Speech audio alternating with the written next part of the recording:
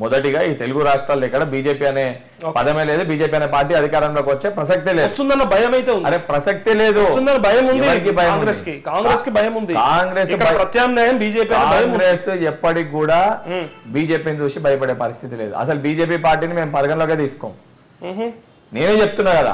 ఇప్పుడు నేను ఉన్న నేను పనిచేసుకున్న హుజరాబాద్ నియోజకవర్గంలో బీజేపీ పార్టీ శాసనసభ్యుడు ఉన్నా గానీ మేము. ఆయన పరిగణలోకి తీసుకోం. ఎందుకంటే బీజేపీ పార్టీ టీఆర్ఎస్ పార్టీకి బీ టీం అది. ఎందుకు ఓట్లు తక్కువ వచ్చినాయి? BJP party TRS. కేవలము ఓట్లతోటి మనం పరిగణలోకి తీసుకొని ఓట్లే కదా రాజకీయం అంటే అదే చెప్తున్నా. వస్తేనే కదా ఇప్పుడు మీకు అదే చెప్తున్నా. ఓట్ల కోసమే మనం పరిగణలోకి తీసుకొని పనిచేస్తే రేపు పొద్దున సామాన్య పౌరుడు ఎవడు రాజకీయాలకి రాలేడు? ఎటువంటి రాజకీయ పరిగణన లేకుండా రాజకీయ అవగాహన లేకుండా ఈటల రాజేందర్ గారిని గెలిపించారు కేవలం తెలంగాణ అనే ఒక నినాదం పైన. అసొంటి హుజరాబాద్లో హుజరాబాద్ ఎన్నికల్లో తెలంగాణ రాష్ట్రం కోసం పోరాడే స్థాయికి వెళ్ళి ఓట్ల డబ్బు కోసం ధర్నా చేసే స్థాయికి తీసుకొని దిగజార్చారు. రేపు పొద్దున ఇదే ప్రక్రియ జరిగితే రాబో ఎన్నికలలో వేల కోట్లు ఉన్నోళ్ళు నాయకులు అవుతారు నా సమస్యలు ఎదుర్కొన్నోళ్ళు కాదు వీళ్ళు సమస్యలు సూచినోళ్ళు కాదు వీళ్ళు. కేవలము డబ్బు ఖర్చు పెట్టి వాళ్ళు రేపు పొద్దున అధికారాన్ని కైవసం చేసుకుంటారు. చేసుకున్న తర్వాత ఇప్పుడు ఏదైతే పన్నెండు వందల రూపాయలు గ్యాస్ సిలిండర్ లబోదిబో మనం మొత్తుకుంటున్నాం కదా. వానికి రేపు పొద్దున్న స్టేట్ బడ్జెట్లో పైసలు తక్కువ అయితే పన్నెండు వందలు ఇరవై నాలుగు వందలు చేసి అని అంటాడు.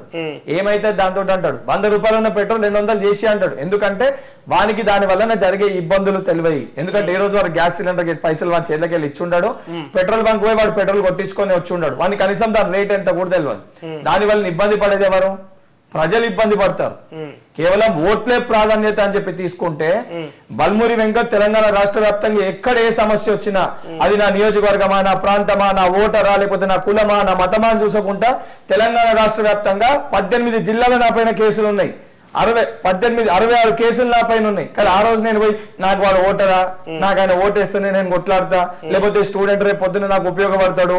లేకపోతే వీళ్ళ తండ్రి నాకు అక్కడ లీడర్ అని చెప్పి నేను కొట్లాడలేదే. ఇప్పుడు మీరు ఎన్ఎస్సీ అధ్యక్షుడిగా ఓట్లతో ఎన్నికయ్యారా? లేకపోతే నామినేటెడ్ పదవి అది? అది విత్ ఇన్ ద పార్టీకి విత్ సంబంధించి ఇన్ ద పార్టీ కానీ ఓట్లే within the party. Election system ద్వారా ఎలక్షన్. సిస్టమ్ మీతో. పాటు పోటీ చేసిన వ్యక్తి ఎవరు? ఇంకొకతను. మా పార్టీకి గతంలో ఏం పేరు? వల్లభ్ అని చెప్పి అంటే నా మొదటి ఎన్నికల్లో వల్లభ్ అని చెప్పి దానం నాగేందర్ గారితో పోటీ చేసిండ్రు ఓకే. రెండో మీతో పాటు పోటీ చేసిన. ఎక్కడున్నాడు వల్లభి వల్ల? టిఆర్ఎస్ పార్టీలో ఉన్నారు. అంటే నేను అనేది ప్రజల కోసం పనిచేస్తున్నారా గెలిస్తేనే కదా పనిచేసేది ఇప్పుడు మీకు- ఇప్పుడు మీకు ఏమంటున్నా కాంగ్రెస్ పార్టీ సిస్టమ్ లా మా ఎలక్షన్ సిస్టమ్ లా గెలిచినా ఓడిపోయినా గెలిచిన వాళ్ళు ప్రెసిడెంట్ అవుతారు ఓడిపోయిన వాళ్ళు వైస్ ప్రెసిడెంట్లు అవుతారు. క్రమక్రమాన ఒక ఆరు ఆరుగురు వైస్ ప్రెసిడెంట్లు ఇస్తారు. దాని తర్వాత కూడా ఓడిపోతే వాళ్ళ ఓట్ల క్రైటీరియా ప్రకారం సెక్రటరీ ఇస్తారు. పార్టీలో ఎంత అంతర్గత విషయాలు ఉన్నా మాకు ఎంత ఇబ్బందులు ఉన్న ఎన్నికల ద్వారా గెలిచినాక ఎన్నికల తర్వాత ప్రతి ఒక్కరు కూడా ఒక ఇన్ఛార్జ్ ఇస్తారు. ఇప్పుడు ఉపాధ్యక్షులకు కూడా ఒక్కొక్కరికి ఒక్కొక్క జిల్లా ఇన్ఛార్జ్ ఇస్తారు. వాళ్ళు వాళ్ళ జిల్లాలో పని చేసుకుంటారు. సరే ఎన్నికల్లో పోటీ చేసినప్పుడు విత్ ఇన్ ద పార్టీలో ఉన్నప్పుడు మాకు మాకు అంతర్గత కొట్లాటలు ఉంటాయి. ఉండే అని చెప్తలేను తప్పనిసరిగా ఉంటాయి. రాజకీయాలు అంటే ఒకరు కాదు కానీ ఎక్కడైనా బల్మురి వెంకట్కి ఇబ్బంది అయినా లేకపోతే వాళ్ళకి ఇబ్బంది జరిగినా కలిసికట్టుగా పోరాటం చేస్తాం.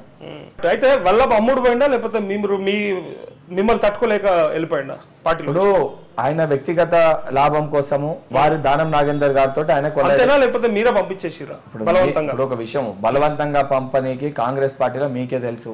ఎవరిని ఎవరు బలవంతంగా పంపనీకి కానీ ఎవరెవరిని తీసుకురా ప్రెసిడెంట్ మీరు అయిన తర్వాత మీకు అదే అంటున్నా నేను అయినాక కూడా నాతో పాటు పోటీ చేసిన వాళ్ళు ఎవరైతే ఉన్నారో ఆయన నేషనల్ సెక్రటరీకి ప్రమోట్ చేయడంలో నేనే చెప్పినాను. ఆయన నేషనల్ సెక్రటరీకి ప్రమోట్ చేసినాం. అంటే ఇక్కడ ఉండి ఎందుకంటే ఆయన గతంలో నాకంటే అనుభవం ఉండే ఇక్కడ పోటీ చేసిండు రెండు సార్లు హైదరాబాద్ అధ్యక్షులు లెక్క పోటీ చేసిండు. అండ్ నేను ఈ రోజు కూడా ఎక్కడైనా కల్పించినా నాకంటే వయసులో పెద్దోడు కాబట్టి అన్న అని చెప్పి గౌరవించి? ఏ రోజు మాట్లాడినా ఈ రోజు. పర్సనల్ కొట్లాట భూమి పంచాయతా లేకపోతే మన ఇంట్లో పంచాయతా? ఉంటాయి కదా అన్నారు కదా రాజకీయంలో కామన్ అది ఏదైనా అది ఒక పార్టీ లైన్లో ఉన్నంత వరకే. కానీ పర్సనల్ కొట్లాటలు ఎవరితో ఉండేవి కదా? ఇప్పుడు రేపు పొద్దున కష్టం వచ్చింది అనుకోండి కలిసి పనిచేస్తాము ఇప్పుడు పొద్దున జెండా మేము మోసే జెండా ఒకటే కదా. నేను మోసిన ఆయన మోసిన జెండా అయితే మారదు కదా.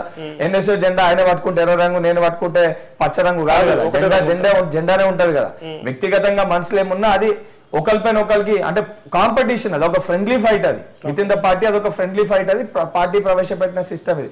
కానీ ఎదురెదురు కనబడితే కొట్లాడుకోవాలి గుద్దుకోవడాలి ఇవన్నీ మీకు అలవాటు కదా అని ఇప్పుడు మీకు అదంతా ముందు అలవాటు ఉండే బల్మూరి వెంకట్ అనేటోడు ఎప్పుడు కొట్టాడలు చేసినా ఏది చేసినా cause కోసం కోసం. నేను fight. నేను చెప్పుకోవడం కాదు రాస్తాము అది. తొందరపాటు వల్ల ఫైట్ తొందరపాటు వల్ల ఫైట్ అంటే ఇప్పుడు ఒక సమస్య ఉంది.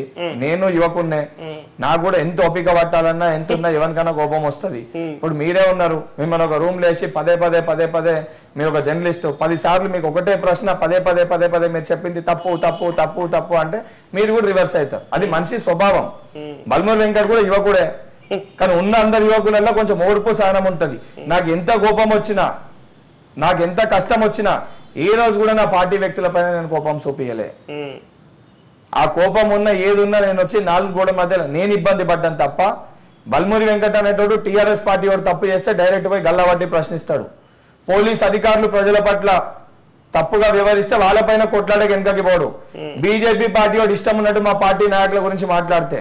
అంటే నా పార్టీలో నాకు సపోర్ట్ చేయని నాయకుల గురించి మాట్లాడినా కూడా పార్టీ లైన్లపై వాళ్ళపైన కూడా కొట్లాడతా. కానీ మా పార్టీ కార్యకర్తల పైన నా పార్టీ వ్యక్తుల పైన వాళ్ళని తిట్టినా వాళ్ళని ఎక్కిరించినా వాళ్ళని వ్యక్తిగతంగా సంబోధించినా నేను నవ్వి ఇడిచిపెడతా ఎందుకంటే అది నా కుటుంబం. నా కళ్ళలో అయితే నేను పొడుచుకోలేను కదా.